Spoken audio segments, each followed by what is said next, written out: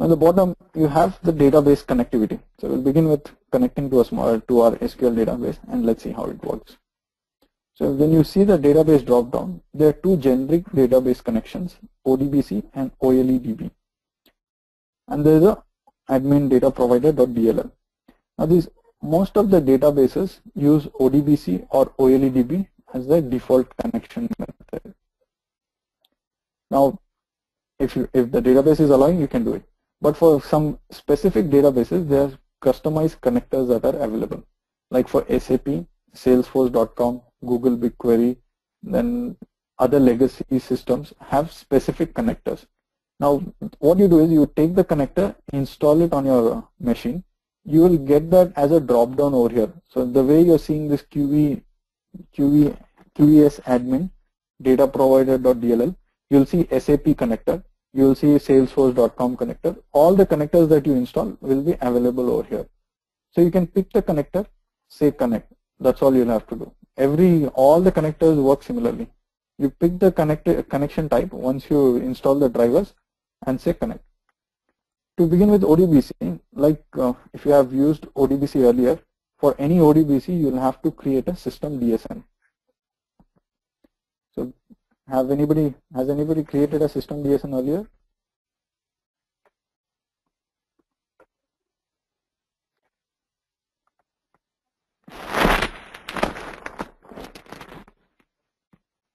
Okay.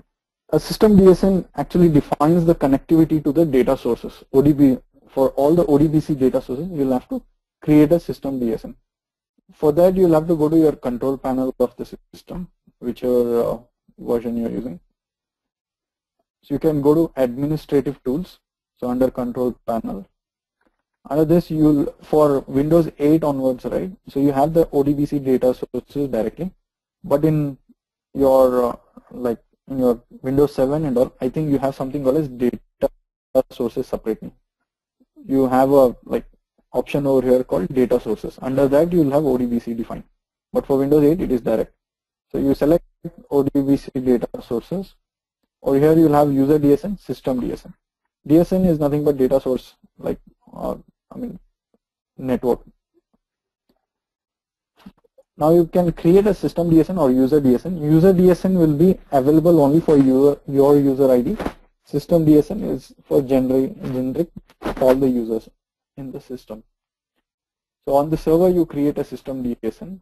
As a best practice on your computer also go ahead and create a system DSN. So you have two already that I have created.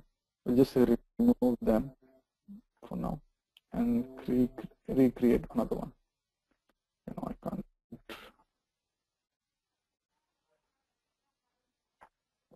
So I'll go ahead and add. So if you want to add a data source, we'll have to add. Before that, let me show you the SQL server that I have.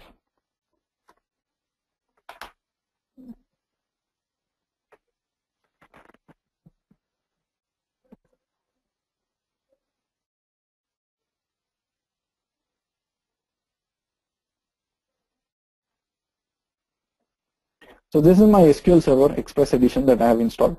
So I'll just say connect. So this is my database. Under this database, I have AdventureWorks, AdventureWorks. These are the tables: human resource, person, production, sales.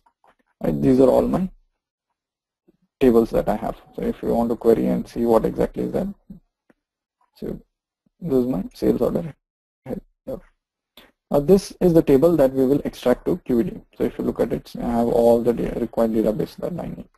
So I'll go back to the system DSN. If I want to add the system DSN, I'll say add. Over here, I'll have to select what database I'm trying to connect. So over here also, I'll have to select. So ODBC is valid for Oracle and multiple other systems. So if you have Oracle, you'll get the Oracle server, Oracle driver, driver over here or anything else. For now it is SQL Server, so I'll just stick with SQL Server native client. This is my local machine. Or you can pick SQL Server also. I'll say finish. Over here it will ask the name. So I'll have to name it. So I'll say Adventure Work Database Connection. Okay. Description has no significance. It's just how do you describe it for somebody to understand what this is. In the server, you'll have to update this SQL server ad server address.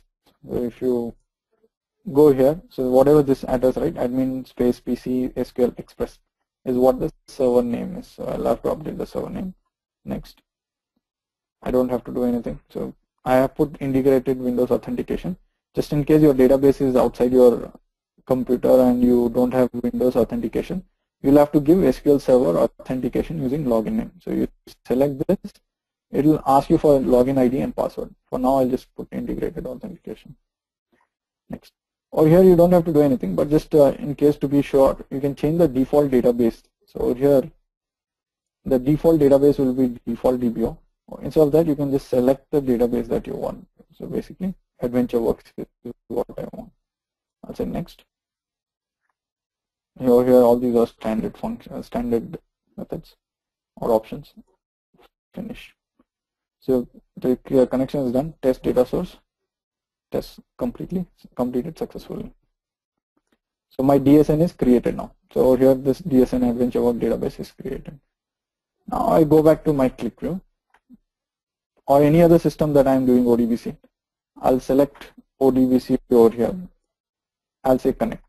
So it will list out all the DSNs that are available. So over here, this AdventureWork was a DSN, right? Data source. So it is given me the option. I'll have to pass, give the password. And my data connection is created. So all QlikView does is it creates a string, which is basically the database connection. Now once I have done this, I'll go to the sales tab I did the connect first time. Now after the connect and the string is created, I'll do select.